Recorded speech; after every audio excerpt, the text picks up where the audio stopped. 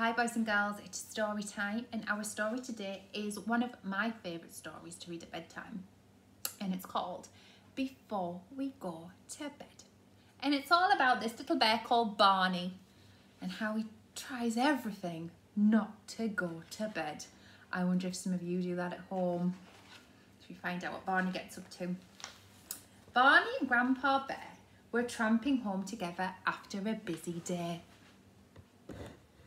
What are we going to do next? Barney asked. Next, chuckled Grandpa in surprise. Next, I think it's bedtime, Barney.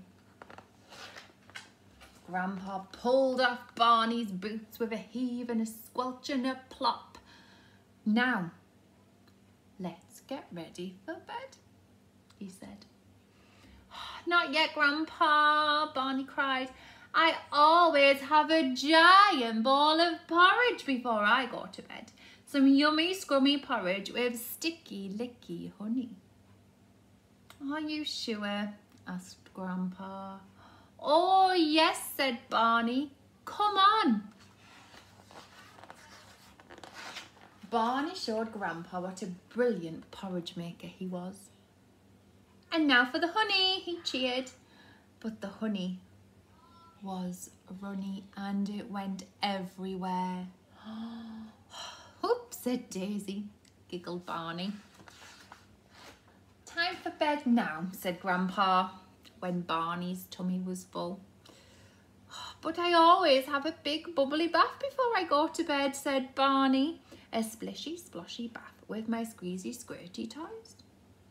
Mm, I suppose you are a rather sticky bear, said Grandpa, as Barney tipped in all the bubble bath with a glug, glug, glug. Oh, dear me.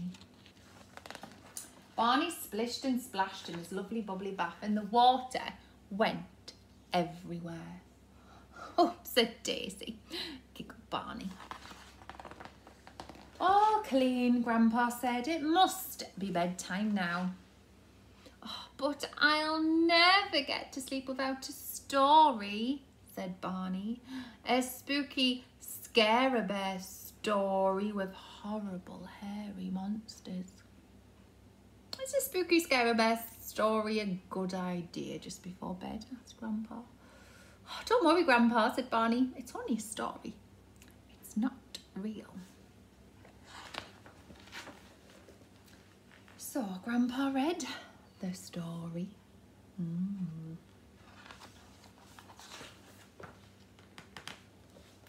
Think they might have been a bit spooked by that story because afterwards Grandpa put the light on to make them both feel better. Maybe we shouldn't go to sleep just yet, he said. I've got a brilliant idea, said Barney. We could bounce on the bed. Shall we, Grandpa? Grandpa smiled. All right then, he said, and first they did little bounces. Then they did bigger bounces.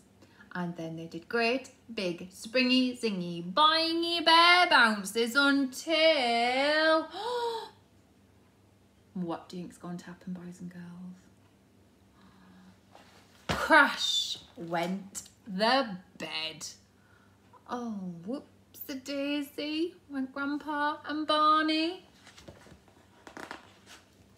Barney watched as Grandpa mended the bed then he gave a huge stretchy yawn. Sounds to me like it's definitely bedtime, said Grandpa. And he tucked Barney under the covers. There's just one more thing I need, said Barney sleepily. A super squeeze. Squishy squashy. Bear hug. And then both bears fell to sleep until morning.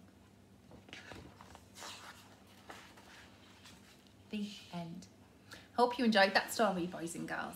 And I hope you don't make a big fuss like Barney did just before bedtime. Bye.